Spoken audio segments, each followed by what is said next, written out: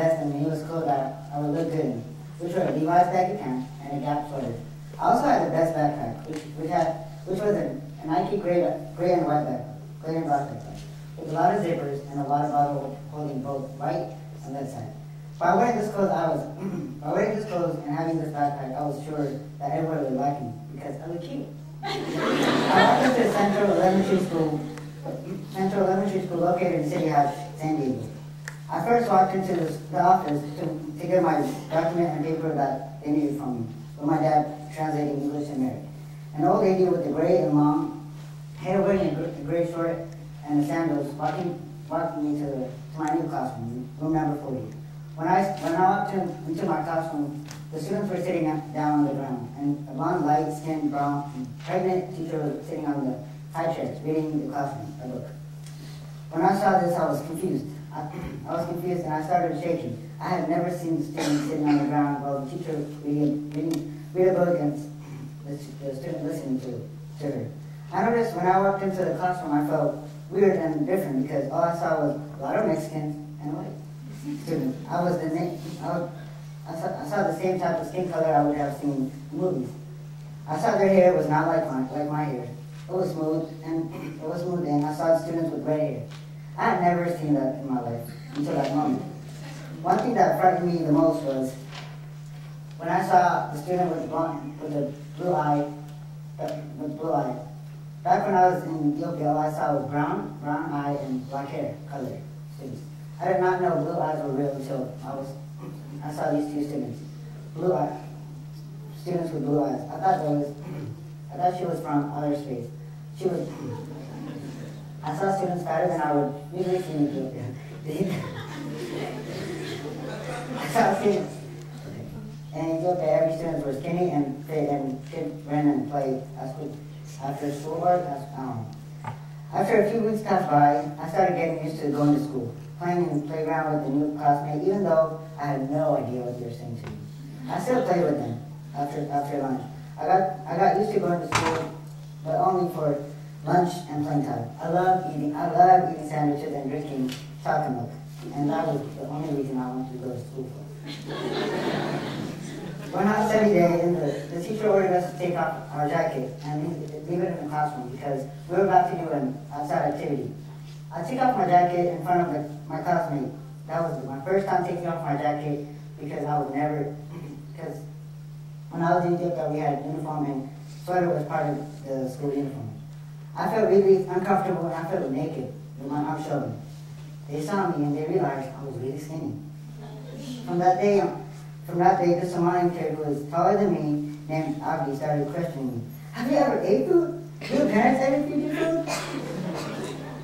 For me, this question was not hurtful because I was still a kid. All I thought about was playing at lunchtime and with my classmates every day. Abdi was born here in San Diego. He speaks a lot better English than me, and he's been in school longer than me. So everyone liked him and played with him at lunch. Also, they treated him equally. When I when I say equally, I mean they're really they're really nice to him. But it's probably because he was really taller than most of them. But still, every morning every morning we had to get to school a few minutes before school started, and we we would we would line up where we were supposed to. Few days after I took off my jacket for the first time, I got to the line before anyone in my classmates. I walked into the school and I saw and the other classes line had line had to line uh, had two to five students lined up. The only line that was empty was my classroom, my classroom line. Many of my classmates got to the line a few minutes later than me, including Abdi, and the first thing he said to me was, hey, you need to eat more. Can your parents feed you? Can you can your parents afford to feed you faster? After he said this, this Mexican kid named Alex said, hey, stop saying that to him. He's from Africa, he can kill you or something. He has the power to destroy the world. Like, has the power to destroy the world like September 11th. At that time, I had no idea what 9-11 meant. So I went home that afternoon and asked my dad, hey dad, what is 9, September 11th and why is it so important to America? He said, September 11th is the day some dummy flew from to an airplane and hit the skyscraper in New York. And many people died. And this dummy, and this dummy happened to be from the Middle East. When I found that out, When I, when I found that out, I remember the time when I was in Ethiopia. Me and my grandmother and my uncle were celebrating the Ethiopian New Year. On the New, New Year, in the news we saw these two planes hitting the building. My grandmother started freaking out and saying, my kids are in America, God help them, protect them, protect these two kids. Then we got to we got we got a phone call from my parents saying this was not near them. They were thousands of miles away from this bad place. Remembering all this bad time, bad day for me and my grandmother, I realized it was the same event. I went to school the next day and told I was that that happened to be Ethiopian years and I was in Ethiopia when, I, when this happened. I did not contribute to the 9-11. Even, even and I told him I'm not the same race as the people that did that in New York. All of a sudden, Abdi started treating me like an animal by spitting on me. He even threw my stuff away outside of the campus. He would hit me, sometimes punch me, and he would not hit. I would not hit him back or fight back because I did not want to fight.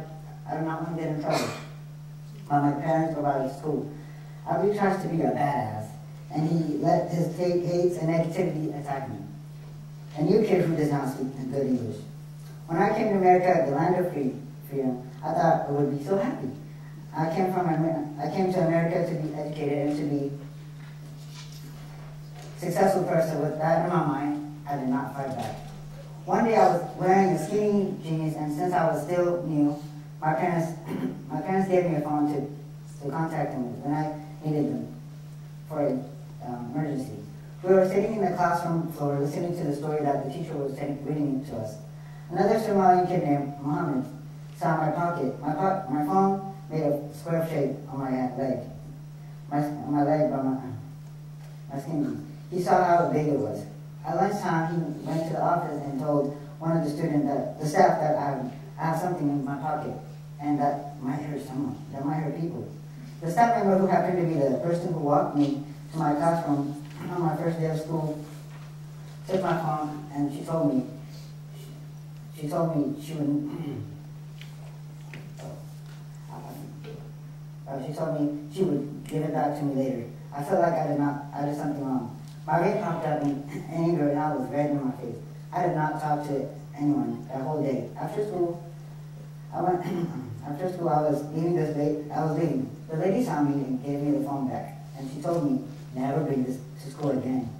Since I did not speak good English, I did not talk to her or even tell her why I had the phone.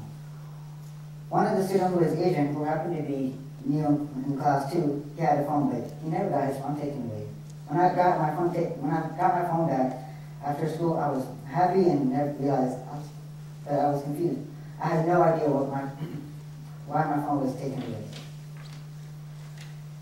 On the last day of school, Abdi saw me and he saw me leaving and spilled his juice on my, my shoe and he, he said, see you next year. But thankfully, by, by this time, my parents moved to North Park, which is where I live now. And I love it here. I told them I'm moving to school, and right when I said that, his right came and he, he got into his car, and since then, I've never seen him. Three days later, I, I ran into Mommy. I saw him a few blocks away from Central Elementary School. When I saw, when I was walking to my, my mom's car to get my jacket for my mom and sister, it took me a few seconds to recognize him because he got taller and he has facial hair. I walked into, I wanted to punch him and I'll make, make him bleed to death. This is weird. I've never felt like this. I wanted to kill someone before, but anyway, I walked into him and he said, hey, what's up, man?